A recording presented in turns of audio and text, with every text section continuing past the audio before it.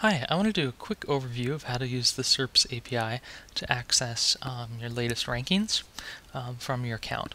So the API is available to all accounts at the agency uh, level and above. Uh, you will need to request an API token, and you can do that um, from the API uh, console. So uh, I've put in an API token here, and then I've also put in my username and password for my SERPs account. And you'll need both of these items to, to access the API. So um, what I'm going to do is start with just at the top level uh, and load up the resource. So SERPs API is uh, fully REST um, compliant.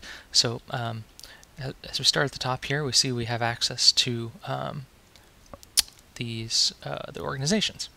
So organizations are um, uh, well, organizations. So you can see the list of, of items that you have access to. And you should see, okay, so we have uh, access to the uh, 69th organization.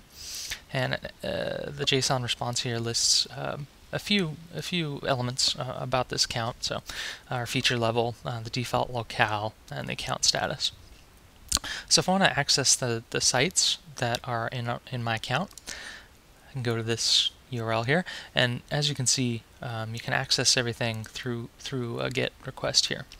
Um, so this returns a count of uh, 38 sites that are in this in this particular um, organization.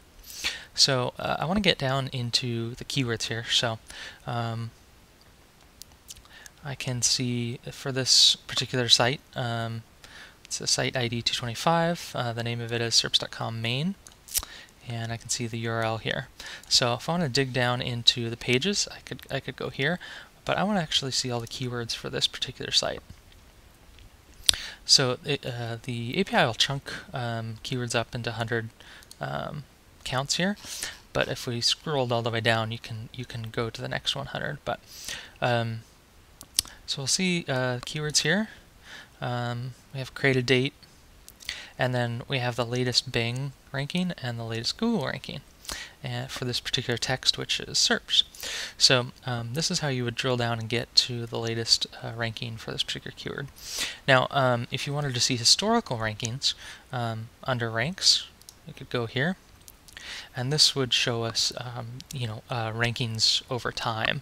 Um, so we'd have the date and created, and we'll actually have the search engine ID in here too for, for Google and Bing. So that's how you would access um, historical rankings. But if you just want to see um, you know the latest uh, Google and Bing ranking for a specific keyword, uh, you can grab that in the JSON response uh, right here. All right, thanks a lot.